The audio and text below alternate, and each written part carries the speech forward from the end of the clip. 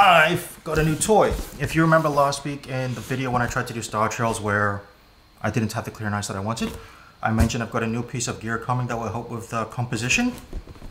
That's what it is. So let's get this box open and let's see what we've got today.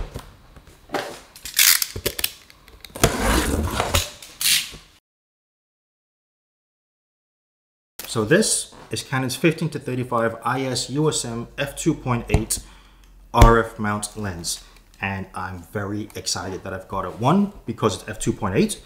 I was considering the f4 instead of the f2.8 purely for price differences, but I've got this one instead because if I want to do something like Star Trails like I was doing last week, this will definitely be a much better lens to use than an f4. Also, there's many times when I'm out there taking photos and I often wish I could go wider instead of zooming in more. So that's why it made more sense to get this lens over a 70 to 200 or a 100 to 400 in comparison first.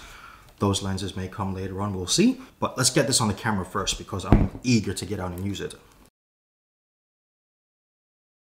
That's a chunker of a lens. That is significantly bigger and heavier than my 24 to 105 f4.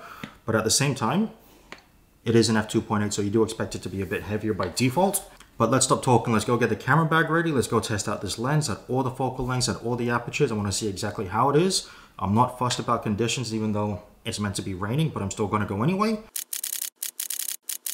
It's a week later now. I did take this lens out to Bradley's Head and finished off the night at the Harbor Bridge to take some test pictures with it. If you want to see all the pictures and videos from that day, make sure you hit that subscribe button so you don't miss out. But let's take a look at some test pictures I made when I was there at different apertures and focal lengths. And to make sure this video doesn't drag on for too long, we're just gonna look at the pictures I took at f2.8 and f11.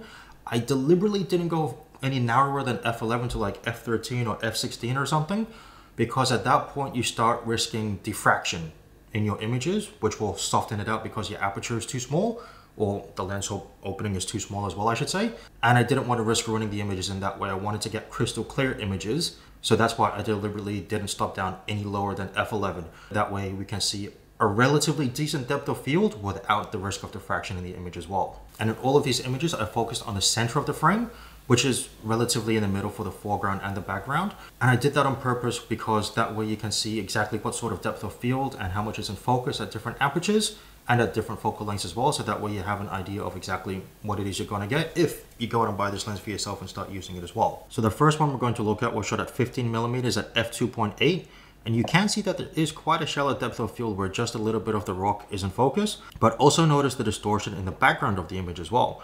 You can fix this in Lightroom and Photoshop, but it will affect the image quite significantly, so that's just something to bear in mind if you are zoomed all the way out at 15 millimeters. When you compare this to f11, you can see that there is a lot more in focus and it's all tack sharp, except when you get to the corners. If you zoom in here to the bottom right corner, you can see that there is quite a bit of distortion going on and it does get a bit soft. Some of this is because I am at f11 and some of it is because of the lens as well from other reviews that I've seen. So it is just something to bear in mind.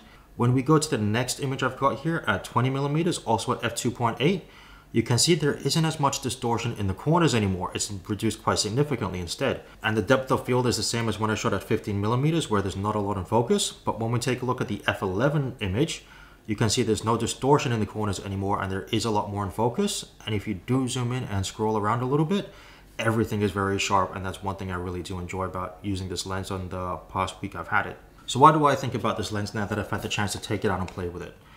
I love the damn thing. I really do. And there's a few very good reasons for it that I'll go over, but there's also a few caveats and a few things to bear in mind that I should let you know about if you are considering a similar lens. One amazing thing about this lens, and I had no idea about it at the time I got it, is they claim it has five stops of image stabilization, which for a lens is almost unheard of.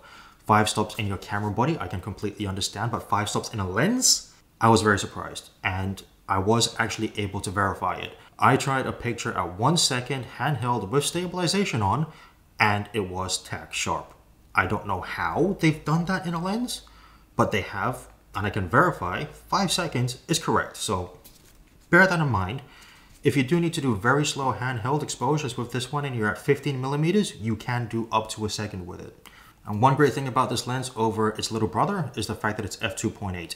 So when I'm doing my night photography and I want to do star trails and whatnot, I can open one full stop wider at f2.8 versus f4, which means I can bring my ISO down or I can extend my shutter speed to get more star trails in the one image which makes my whole life a lot easier when I want to do that style of photography because I get that extra stop of light in there, which I wouldn't have if I got the f4. So that's one great thing about this lens is that it's f2.8 versus f4, which does make it much more versatile to use depending on the type of photography that you're doing. And the best thing about this lens that I like the most, the focal range.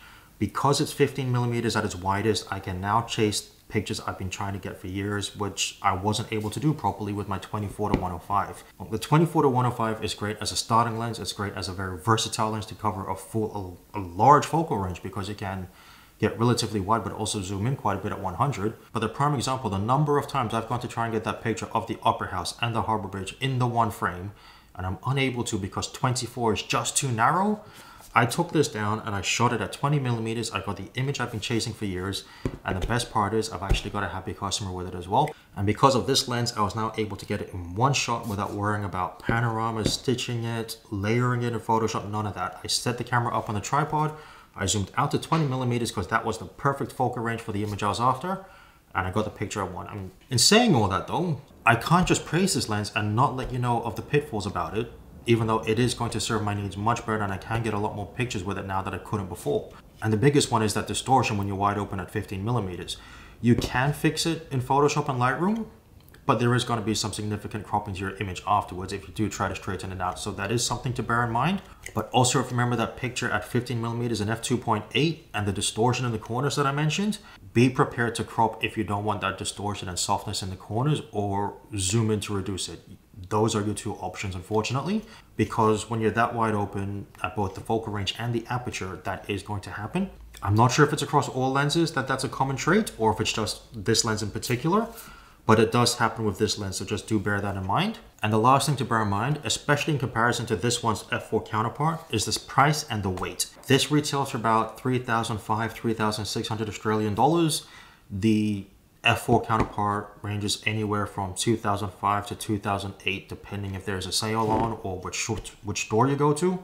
I'll put the specs up here for both the F4 and the F2.8 so you can see the size, the weight, and the price difference. So that's something that you will have to decide whether going F2.8 is worthwhile or not. Because I was able to get this at a really good price, that is why I went with the F2.8 over the F4. Because that way, when I want to do my night photography with star trails. I don't have to bump up my ISO if I want to try and catch the Milky Way, which is nigh impossible in Sydney because of all the light pollution. But at the same time, I also am aware that I have to carry around an extra three or 400 grams compared to the F4 model. So it's a price I'm willing to pay because of what I am able to get out of this because of the fact it's f2.8 and it's a 15 to 35. Although the f4 is 14 to 35 as well, so that's my initial impressions of this lens after using it a few times now and going out and taking photos with it. If you do have any questions about this lens specifically, let me know in the comments below and I'll get back to you as soon as I can. If you have liked this video, please don't forget to give it a thumbs up. That would be greatly appreciated. And if you do want to see me take this lens out to Bradley's Head and chase sunsets for the first time in about five months, don't forget to hit that subscribe button and tick that little bell so you get a notification when that video comes out because that's exactly what we're doing next week. I'll leave it there for today. I hope you have enjoyed this video and I'll see you on the next one. Have a good night.